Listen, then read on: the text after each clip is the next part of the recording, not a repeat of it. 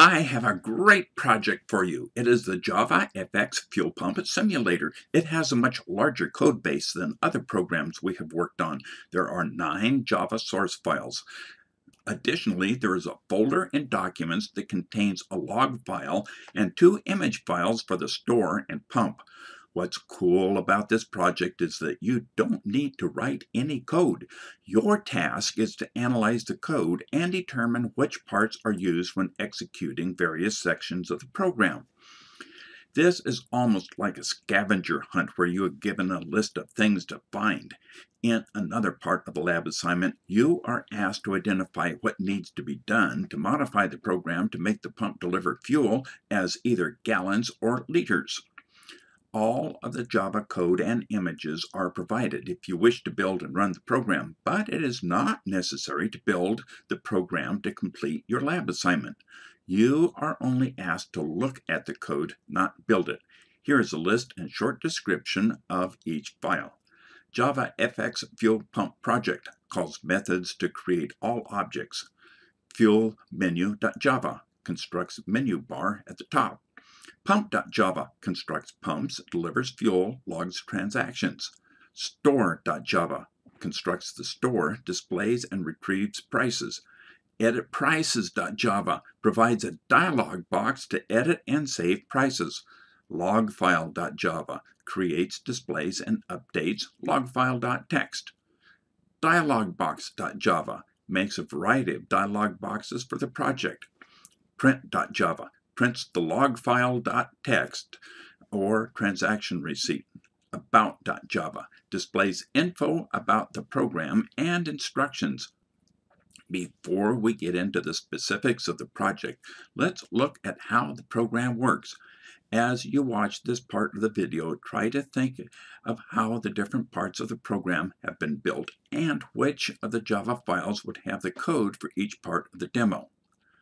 Here is a store that has prices posted for two grades of gasoline and a price for diesel. When a customer wants to make a purchase, cash needs to be deposited at the store.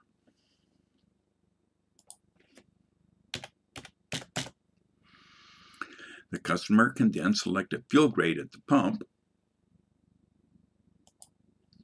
and then click the Start button on the pump.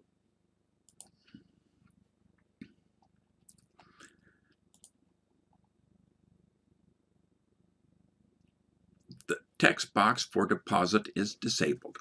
Fuel is pumped, showing the amount of sale and the volume delivered in gallons.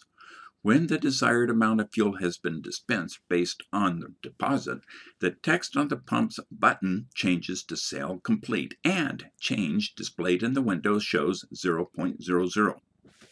Let's try it again. Click the clear button to start a new sale.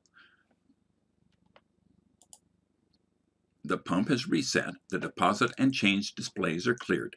Enter a new deposit.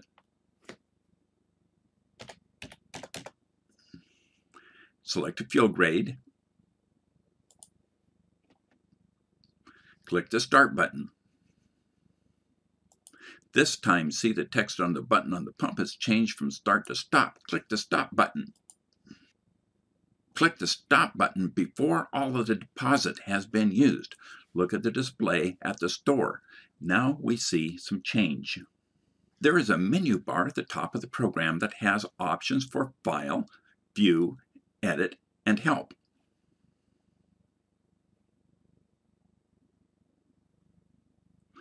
When File is clicked, the only option in the drop-down is Exit. That can be activated using the mouse or the hotkey Alt-X. Hotkeys are also known as key accelerators. They are very useful when a mouse or tracking device is not available. They are also a requirement to make a program ADA compliant.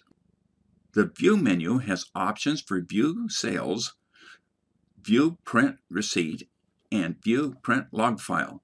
The three dots after each option are known as ellipses.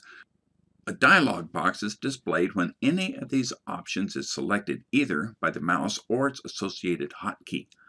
The dialog boxes are type modal, which means that no user actions are permitted on the other parts of the program until the dialog box is closed. View Sales displays the most recent sale and the total of all sales of the current run of the program.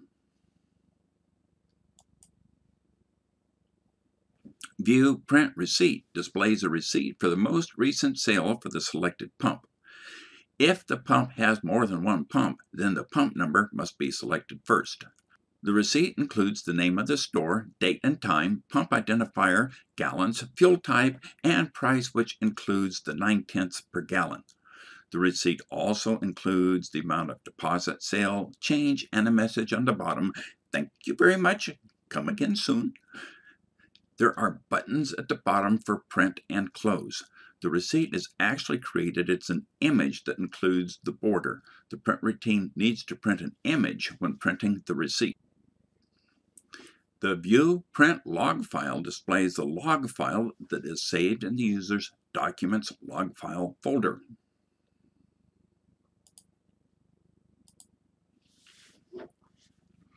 Log files are important because they're used to keep track of anything important that happens and who is responsible. The log file has two different types of records, a record of each sale and a record of every time the fuel prices are changed. It is the log file that is searched when displaying the receipt of the last sale for the selected pump. The log file is also searched when the program is first started to retrieve the prices for the gasoline and diesel. This way, the prices are retained from one run of the program and when the program is run again. The Edit menu has two options for Edit Prices and Add a Pump. The Edit Prices selection brings up a dialog box that gives the user the ability to change the prices of the gasoline and diesel. The user's entries are validated to make sure they are positive and numeric.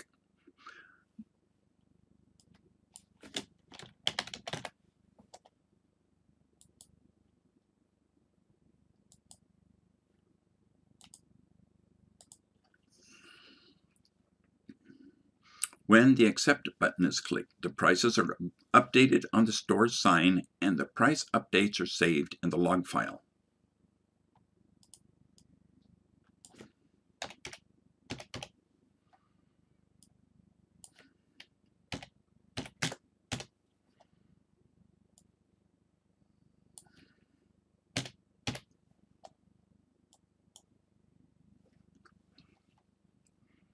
The add a pump does not have the ellipses because that selection does not bring up a dialog box. Pumps are implemented as objects. That way it is very easy to add a new pump. Just instantiate another pump object. A constant in the program named max pumps is set equal 4 because there's only room for 4 pumps on most computer screens each time a pump is added. Deposit, change, and clear controls are added below the area on the screen for the store, and the pump number is displayed on top of the pump. Although it may appear that these controls belong to the store, they logically are really part of each pump.